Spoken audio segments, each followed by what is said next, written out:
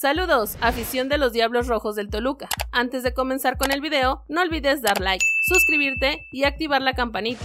Sin más por el momento, iniciamos y América podría jugar otra vez en el estadio Nemesio 10. El Club América estaría buscando nueva casa para jugar el próximo año y una de las opciones sería el estadio Nemesio 10 de Toluca, por lo que acá te explicamos cuál es la razón. La razón es simple, se ha confirmado que el estadio Azteca estará en etapa de remodelación en miras al Mundial de 2026, por lo que las Águilas del América están en búsqueda de una casa temporal para el periodo 2024-2025. Algunas de las propuestas que están sobre la mesa están en las siguientes ciudades. Ciudad de México, Estadio de la Ciudad de los Deportes, Toluca, Estadio Nemesio 10, Querétaro, Estadio Corregidora o Pachuca en el Estadio Hidalgo. La razón lógica por la cercanía sería elegir el estadio donde juega el Atlante. Sin embargo, el inmueble ya está muy viejo, por lo que las condiciones para llevar a cabo partidos de primera división no sería viable, por lo que las opciones que permanecen como opción son Toluca, ya que jugó en una ocasión en el 2018, así como Querétaro y Pachuca. En el 2018, el América jugó como local en el Estadio Nemesio 10 de Toluca en contra de Veracruz, donde aplastaron al rival 4 por 1. Sin embargo, existieron algunas cuestiones que no gustaron a la afición choricera. Algunas de las cosas que calaron en el orgullo de Toluca fue que se colocaran escudos del América de manera desproporcionada y taparan el del cuadro escarlata. Por otro lado, el motivo por el cual Diego Volpi no podría jugar con la selección mexicana. La discusión por tener un nuevo portero de la selección mexicana ha llevado a creer que la solución para tener competencia contra Guillermo Ochoa sería contar con Thiago Volpi, arquero del club Toluca, como una opción para la meta tricolor,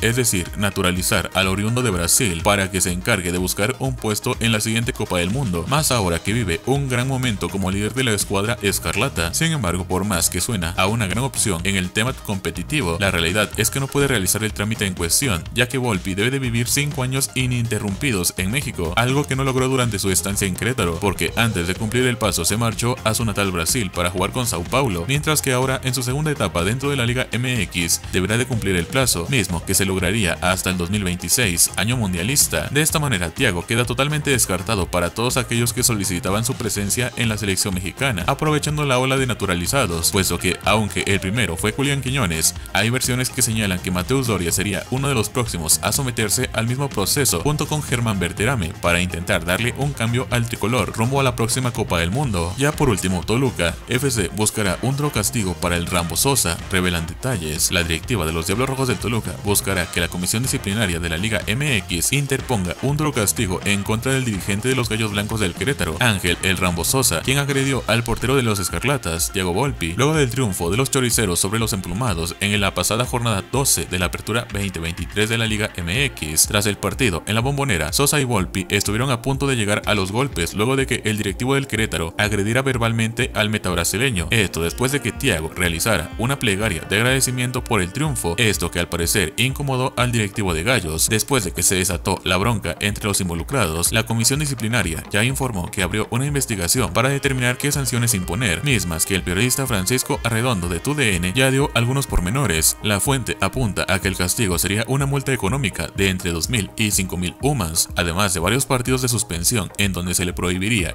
ingresar a la cancha en los estadios y tampoco ingresar en los vestidores de gallos, ya sea de local o visitante. Sin embargo, estos castigos le parecerían pocos a Toluca, por lo que la directiva buscaría que la comisión disciplinaria ponga mano dura y sean más severos en la para que quede como antecedente. Y bueno, hemos llegado al final de las noticias de hoy. No olvides comentar ahí abajo qué te parecieron. Da like, suscríbete al canal y activa la campanita para así traerte siempre más y mejor información. Hasta la próxima.